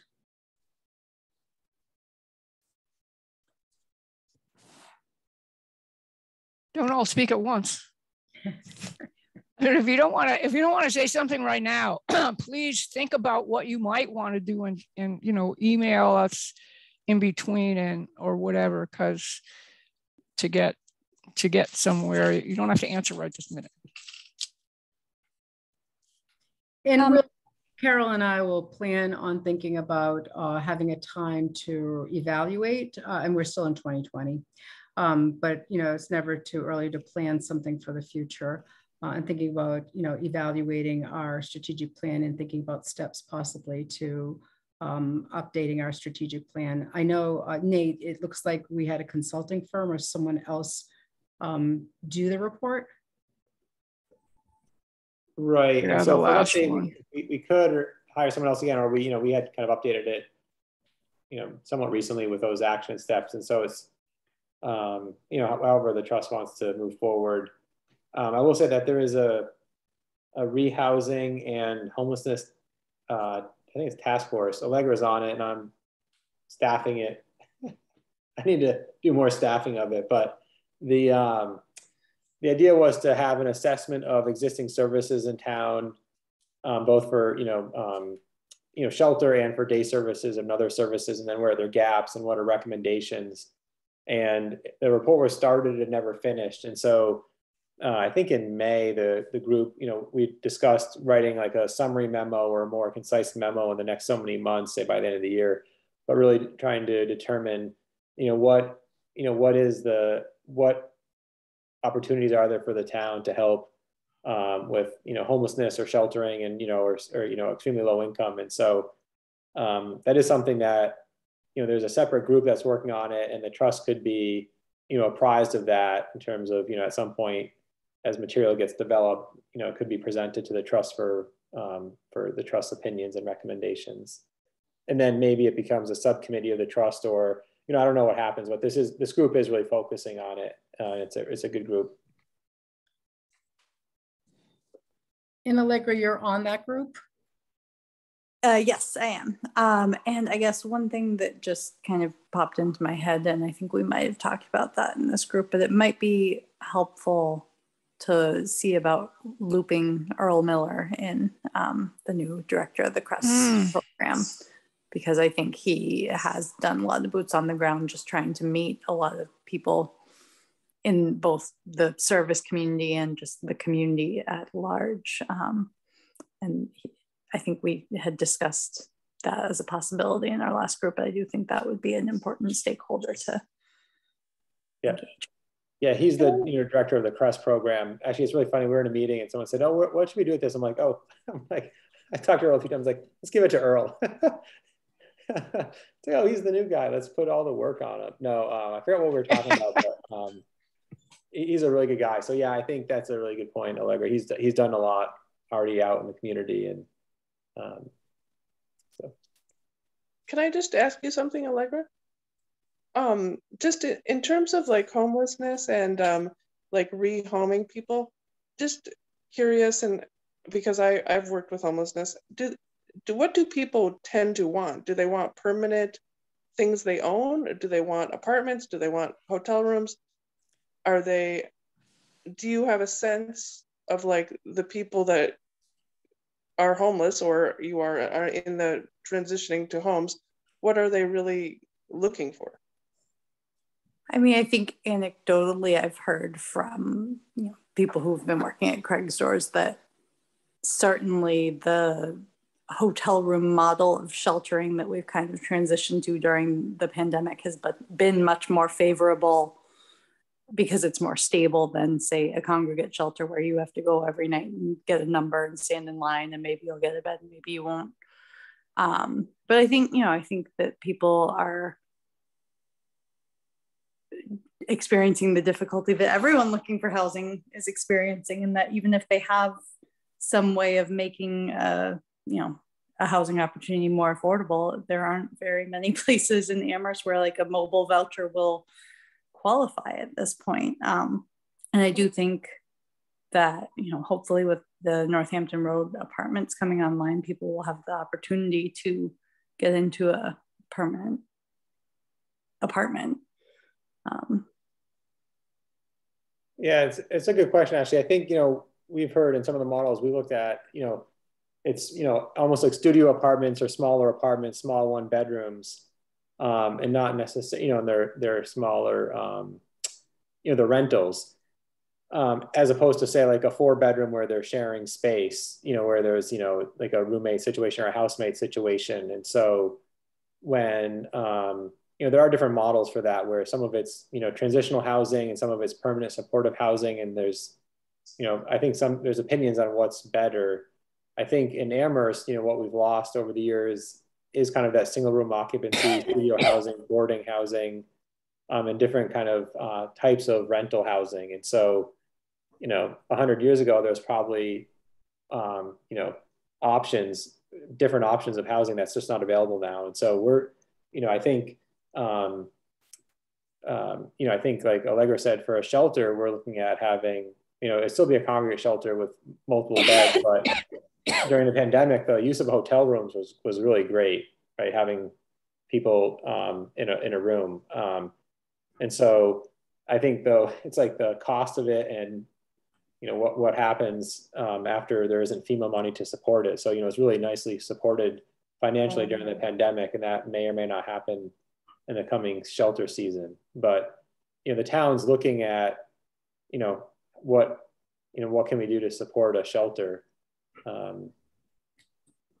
and then, you know, I, I do think housing is a big, big piece, but we're also, you know, we're looking at probably small um, rental rentals as opposed to you know some other model right now. Okay. So, um, oh, Risha? Just on the social media bit, I mean, it seems to me that if we have to have everything approved ahead of time, that that's pretty limiting for social media, which is by its nature a a quicker response kind of, of thing. So um, while I would be happy to volunteer for it, I don't, given that, I don't think it makes sense to invest much in it. I mean, are you talking about like just like having um, like a like a streaming blog or something where there's, I, I guess, what do you mean by approved? Um, well, my understanding is that if we wanted to post things on Twitter and share things from an official trust account, that everyone would have to approve all of those. Um, and that the timeliness of that would then sort of defeat the purpose of those kinds of, of communication channels. Yeah, unless we, unless when we read the long thing that Rita has asked us to go find, unless we find some other, some other suggestion in that that suggests there's some way around it, then it sounds like I agree with you. I mean, I do think, you know, the town has a web page and different uh, media platforms we can post on. Um, yeah, I mean, I think the, however, I do think, you know, if the trust has a, you know, a, a page that is updated monthly, I know it's not as frequent as it could be. I mean, it is still, it could still be useful, um, but it wouldn't be as dynamic as, you know, what maybe what, you know, some people are thinking, right? So it is somewhat static, but it is still useful to put information out there. And so it just might be, you know, I'm not sure how many people actually go to the, you know, the town government website to look for information on housing, but if, you know, if they Google can't find it. housing Amherst or something, and somehow we tag the housing trust in a way that that becomes, you know, part of a, you know, a result of search, then maybe it is still important, even though it's not as interactive as you'd like. Uh, but it sounds like that would be better than what we have now in terms of we don't even, particularly on the Amherst town website, we don't have like a little bar or anything that says upcoming housing, affordable housing, you know, bulletin. Do we? I haven't seen it, but you haven't found it? No. well, I I wasn't looking very hard apparently, but it would be nice to just have a little box that was like red that said Amherst affordable housing is here for you or something. You know, it's like we can advertise ourselves somewhere ideally, you know. That could happen if somebody wanted to try to figure it out and connect it to the town. I mean, yeah. I don't know who runs a town website. So far, it seemed to me like finding minutes on it has been fairly far after the fact. Um, but I don't know. So if somebody wants to look into all of this, they could or not. Well, who runs the town website? Yeah, so you know, IT in general, and then we have our um, you know communication officers. But then you know, since I staff the trust, I'm you know technically responsible for maintaining everything that would go up through the trust web page. Um, and I, I, can say that I don't um, do that very often. You know, we did have the administrative position. You know, John Page had been doing it, and he was doing a pretty good job. a few years ago, and then we had someone else um, and now we've run into some some roadblocks about how to hire someone to do that. But uh, you know, someone on the trust, I guess, if you're interested, you can, you know, we they could get access to, to the to that web, you know, the web pages and help keep that up to date on the town website. So it doesn't necessarily have to be me. We just have to, um, you know, if there's someone who would be willing to do it, um, that's possible. So maybe if somebody decides they want to take that on, they could let, especially Nate, know, and, and Erica and I, be, uh, be, whenever it is that you decide that you want to do that, and we can go from there. I would like to not, man, I'd like to manage to have time to do these, the updates that we have on our projects, especially uh, East Gable, since I see that Laura is even an attendee and might want to give it herself. I asked her and I have a little blurb that she sent me an email, but Laura, if you're there, do you want to, is that why you're here? Or do you want to, do you want to give us an update?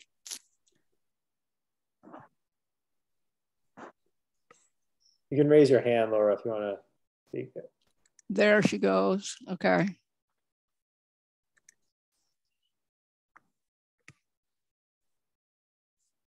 Hi, everyone. Can you guys hear me? Yes. Hello. Um, I would love to give an update. So um, for those of you who are daring enough to go down Northampton Road these days, um, you'll see that everything's under construction. um, and the project at 132 Northampton Road is going along actually surprisingly well, given all the challenges in the supply chain and construction environment. So I encourage people to take a look if you can. Um, it looks like we're building like a big styrofoam cooler um, because there's so much insulation. This is a passive house um, certified building. It's the first one that Valley has undertaken. I think it'll be one of the first multifamily um, passive house developments in Western Massachusetts. Um, and so it's a little bit unique in the construction methods. Um, but the clearing is done, the old house is gone, the foundation is in, they're doing um, the mechanical systems that are going to run under the slab floor. Um, and they should probably be pouring the slab in another week or two. So it's it's pretty good progress. Um, so we're very pleased with it.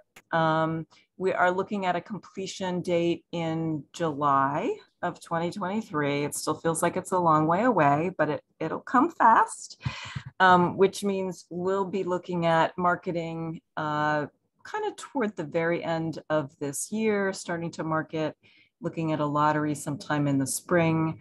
You know, now that the building is being built, I do get inquiries once in a while. Um, we don't have an application yet, but if people want to email me, I'm at least starting a, a list, a notification list. So and and I do I have been getting inquiries coming in. Um, so I, I, know people are out there.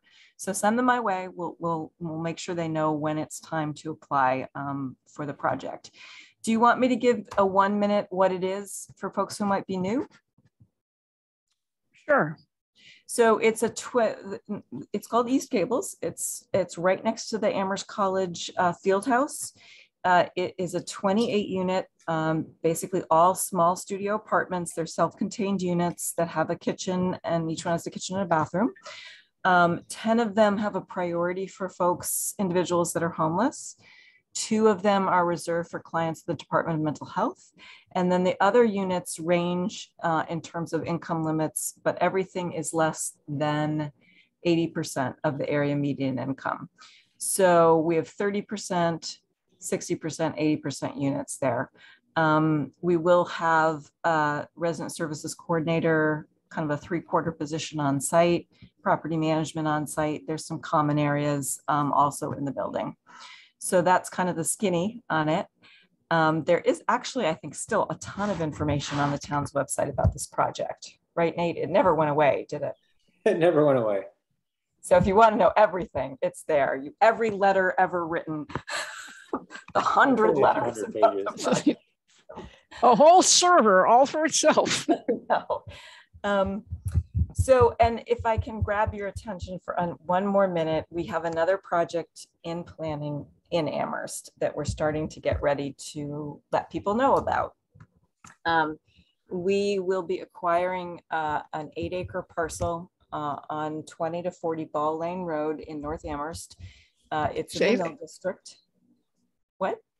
I, I'm sorry, I missed that. Could you say the address once more? 20 through 40 Ball Lane. Uh, it's the corner of, it actually has a bunch of corners. It's the corner of Pulpit Hill, uh, Montague Road, and Ball Lane. Everybody looks confused. Nate will show you a map. Eventually. That's okay. Go ahead. Um, there was a trucking company there. It's been for sale for a long time. Um, uh, within the last year, the kind of um, industrial warehouse style buildings that were on the site were demolished. Um, the co-housing folks on Pulpit Hill looked at this site for years um, and couldn't quite come to terms uh, with the sellers. Um, Valley uh, has an option to purchase. We have the financing in hand and we're just really kind of rolling along toward a closing date uh, in August. And we just sent a flyer out to the abutters. So we'll be having our first neighborhood meeting coming up in a few weeks. Um, it'll be a Zoom meeting, and then we'll follow that with a meeting on site probably once we've acquired the property um, in sometime in August. Uh, there is a single family house on the property that has a tenant who's probably going to remain there. Um, our proposal for this uh, pro property is approximately 30 uh, first time home buyer condos um, probably in duplexes. So it would be 15 buildings altogether. Um, we're looking at a lot at the way that co-housing is laid out. It's not co-housing per se, but we're looking at some of those kind of site planning um, priorities and and also pocket neighborhoods. So we're going to try to cluster the, the dwellings together, have a lot of open space remain on the property, um, have very high energy efficiency, all good things. Um, and so 20 of the 30 would be affordable. I think we're looking at 80% units, 100% units, and then 10 market rate units. Um, the reason we're able to do this miraculous thing is that the state has one funding program that's really targeting home ownership. Um, it's called the Commonwealth Builder Program. And if you go on to the Department of Housing Community Development's website and you, you Google Commonwealth Builder Program, you can read about the intentions of the program, which are really to try to start to address underserved communities, particularly communities of color that have been kind of left out of, um, you know, building wealth through home ownership. So, and the reason we can do this in Amherst is strangely enough, North Amherst is a qualified census tract. So the census right. data in North Amherst is such that it is falling into a category. It's probably the only QCT in our region. you know, there, there just aren't many places that this is possible um, in Valley service area. So we're really excited about that. You'll be the envy of the neighboring towns who also want first time homebuyer projects. Um, so anyway, we're really excited about it. We will be coming back to the trust to give you more detailed information. We certainly want your input um, as we go into the kind of planning and design part of the project.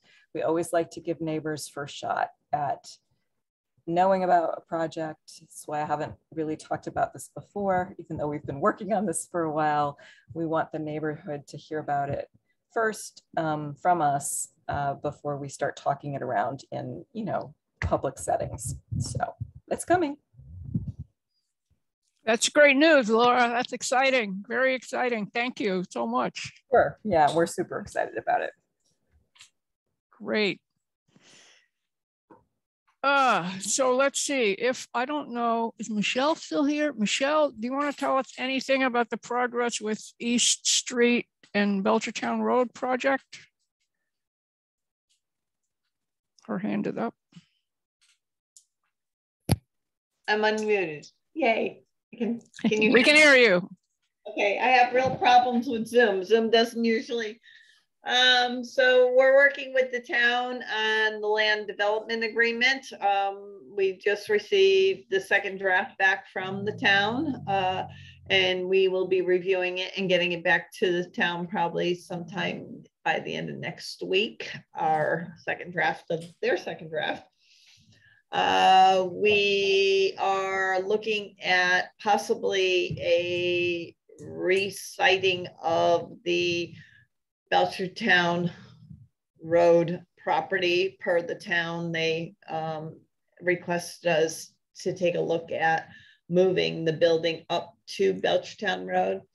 So we've, we are working on that we have all of our civil in place, our environmental in place, and as soon as the LDA is signed, um, we're ready to go with the due diligence. Fantastic.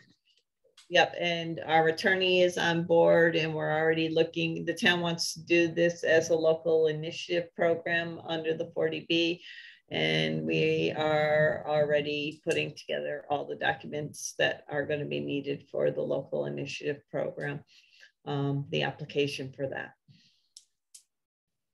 Okay. Uh, anything else? Nate, is this the place where the moving the house thing comes in? or something yeah. about moving a house. Michelle, are there any questions for Michelle before I end up changing the subject slightly? My only question was about moving the house. Okay. yeah. Because I think Michelle said something about moving a house to Belchertown Road, and I wasn't sure if that meant like up the property to the side of the road from no so the um you know there's two houses on the belchertown road properties there's the uh, brown older cape near the road and then there's one that's set back that's a modular house from the mid 90s and it's at uh, the town in part of the the disposition of the property or the request for proposals was that the town would look at moving the houses and it's really not on wayfinders or you know um, you know so we're looking at a town-owned property. There's a few few of them. Um, of course, they all have wetlands on them, and I have some estimates to do wetland assessments, and I just have to kind of get contracts going. Um, the town did just change its wetland regulations. I think it was like two weeks ago. So now that those are in place, we'll get contracts going. Um, you know, so but the the hope is to move maybe one of the houses. Um, and make a you know an affordable home ownership unit out of it. But you know, they would be relocated to a different town property, not closer right. to the road on the current. Right. No, it would right. It'd be it'd be you know it'd be taken off this property to a whole other property. Um, yeah. What I talked okay. about. Um, what I was mentioning is the town had asked us to move the building that we designed closer oh, to right, right. Belchertown Road and because of the wetlands, that is, uh, you know, it's it, it's an issue, and we're, we're working through it right now. But there's a lot of wetlands on the Belchertown Road site too.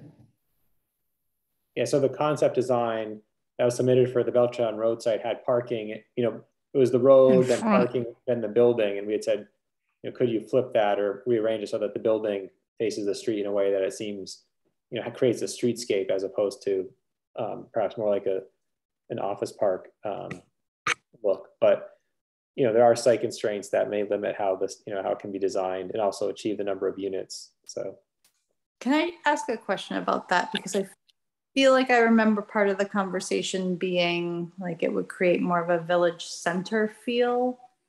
Um, but I have questions about like if it's for families, it might be better farther away from the road because small children are really fast and they don't always make good choices.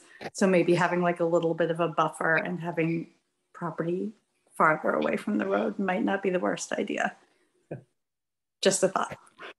Yeah. So I, thank you. Know, yeah, I would hold those thoughts, and then you know this will go through permitting, and the trust will probably have a chance to provide comments, or you could individually as well. So. Yeah. Great. Okay, is there anything else on Belchertown Road or the moving of the house?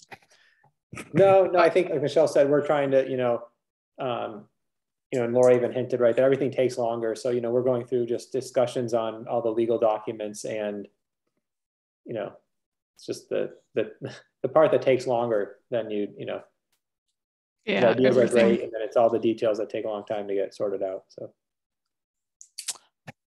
Well, then that I think leaves us to two things that we were going to ask Nate about Strong Street again. And I think Hickory Ridge is, I don't know. Anyway, either one of those two, Nate. Yeah. So uh, Strong Street, I, um, you know, we mentioned that there's some um, endangered species there. And so I filed a request with the state to get, um, uh, we had a pre-construction meeting, we had a filing with Natural Heritage, and then um, I submitted a request for information from the state. And so when that's received, then we're going to have to hire um, a botanist or scientist to go out and actually do a field survey on the site. Um, and then after that, we can approach natural heritage again to see how much disturbance we can have on the property. So, uh, you know, it's just kind—it's kind of waiting. I didn't want to hire someone until the states responded in terms of what exactly we're looking for. So I submitted a request for information form um, about a month ago. So we should be hearing pretty soon. Uh, and then we'll have someone go out there. So I, you know, I'm still somewhat hopeful that that site could probably accommodate 10 to 14 units, you know, unless, for instance, we find that the endangered species actually is wider spread than we think, and then it's not. But I'm hoping it's actually less than what the boundary shows, and we could, you know, get maybe 16 or 20 units. But, um, you know, we'll wait to hear. You know, the building commissioner and I had come up with a way where the town might actually permit it as a um, uh, almost like a condo development with a common drive and not a subdivision. And so uh, the permitting, you know, the from a land development and regulation standpoint, it's easier. Um, it's a little tricky, but we're trying to come up with some creative ways to get units in there. Um, so we're just kind of waiting on this, you know, this natural heritage piece. So that's still moving forward. It's just a little slower. Okay. Well, maybe we will, I will avoid, we will, unless Erica doesn't agree with me, avoid putting it on an agenda until you tell us you've got something. Sure. Because it seems like, I don't know, just, yeah. we know you're working on it. We know it's slow. When something happens, we'd love to hear. yeah. Just don't forget about it. That's why we keep it on there. So I, yeah, you know, so we don't forget about it. I know right. that's. Yeah. And Hickory Ridge, yeah, the, um, yeah, I think something's going to happen pretty soon. You know, the um, the town owns it. Um, we just we just submitted a grant to put an accessible walking trail on the um, western portion, um, but there's still you know five to ten acres, whatever. I don't you know could be four, but there's some amount of land that's developable, and so the town is going to engage in a process to determine what you know what kind of uses could go there. You know, we'll say that you know they're there have been recommendations from you know a fire station to a community center to housing to just leaving it open space to an event venue and so a senior center so there's a number of um, ideas for it and i think dave ziomek in the planning department and some others will come up with a process uh, this later this summer and fall but you know i think the trust we can just keep active um, and you know be part of the conversation. Uh, you know, I think senior housing has been one that you know John and Rita looked at a while ago, and I you know I think there's still discussions about that. But you know, the site is 150 acres. It's an old golf course, but you know, 140 of those acres uh, is most of that now is either conservation or it floods or it's solar or there's restrictions on it. So there really isn't a lot of land that's left, um, even though it is a large parcel but it is a will be a community amenity. So you know we are planning trails and other things. So even if housing isn't what's built there, there's still going to be a process to determine you know what kind of community amenities are available on the other spaces. So I think it's something that the trust can still be you know a part of. So we we're trying to make trail connections into East Hadley Road, uh, and so the town's been working with property owners trying to determine how can we make a walking trail or trails that connect uh, north and into Pomeroy Pomeroy Village Center so that there is access for neighbors and residents. Um, you know, we see it as a really good good opportunity and an asset, um, even if it doesn't yield, you know, a lot of housing units, per, you know, for instance, but it's still a really good uh, thing for the town. And there is solar on it, right? So what happened is the developer, if people aren't familiar, you know, it's a there's two high and dry sites behind the river, uh, away from the road, but the developer, the previous owner, you know, applied for and um, had, you know, I forget how many acres of solar. So there's going to be two big solar installations on the property. Um, and then the remainder of it becomes available to the public. But, you know, there will be, you know, solar fields on it. And then there's some areas that will be restricted along the river that there isn't public access. So there's about 20 acres that need to be um, kind of left wild. And then they'll, you know, that's, I think that's probably about 50 acres that are kind of off limits, and then there's 100 acres that could be available for public use. So will you keep our, it's at some point if there's a point at which we should get our our digs in and say yes we would like to see housing here, which I assume is what we would be saying of some sort. Will you help us know when and where we should be doing that? Yeah, and I think you know um, and I, yeah, and we could even have it at the next uh, meeting or meet, you know, August or September. It could be a discussion about, um, you know, is it senior housing? So could the trust, you know, not just say housing in general, but if we think senior housing, or a certain type of housing and maybe spend a little bit of time talking about that. So when it's time for um, comment to the town, it could be a little more um, directed in terms of, you know, we think, you know, a mix of unit sizes for senior housing, right, or, or whatever, right, or family, you know, whatever there is, whatever, you know, more than just say, oh, we think it's good for housing, you know, is that we think, you know, 50 units of this type of housing or 60 units or, and we can pull up a map and look at a few things. But yeah, I mean, I think that's something in the next uh, one to three months we should kind of formulate. Sounds good. Um, does anybody have any comments about any of these projects that we've talked about before we move into our kind of end of meeting stuff? And I'll pass it back to Erica. Sure. Well, we want to open it up for public comments right now. So um, I cannot see hands. Nate, you can. Um, if there's anyone who has joined us who has a comment uh, or a question, um, this is the time.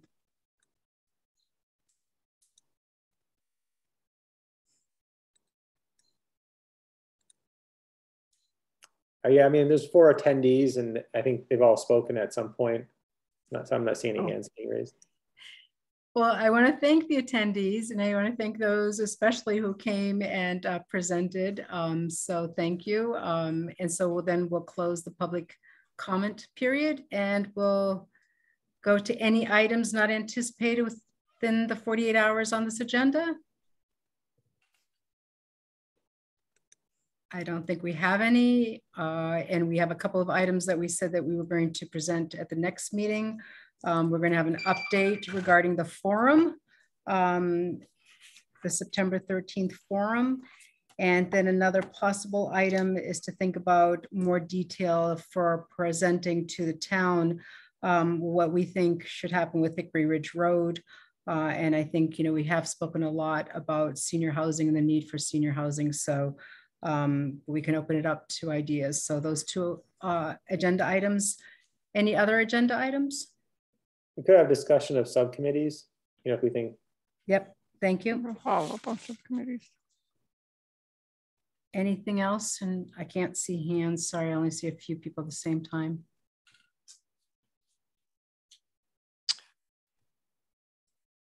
Looks like not. All right. Um, so the upcoming meeting will be August 11th um, in August. And actually, we do need a volunteer to do minutes. Would anybody like to volunteer to do minutes for August 11th? Um, George, who's been so kind to volunteer to do minutes, will not be available.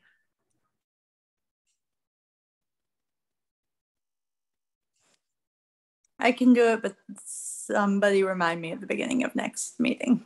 Oh, I'll definitely. You got it. Thank you so much. All Thank right. you very much. Yeah.